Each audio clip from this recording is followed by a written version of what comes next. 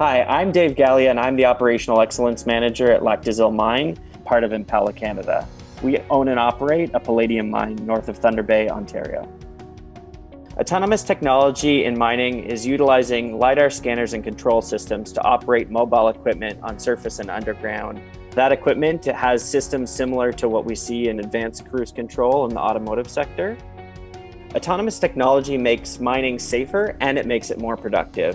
It allows operators to work from the comfort of a remote chair on surface, and it also allows them to reduce the amount of travel time in their shift because they can jump in that chair and get started right at the beginning of their shift rather than traveling underground to a machine in their work location.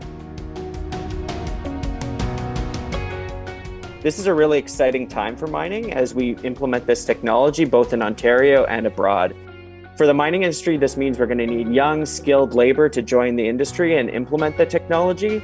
And we're going to need existing operators to learn different techniques to utilize this equipment and make our mines more productive and more competitive on the global landscape.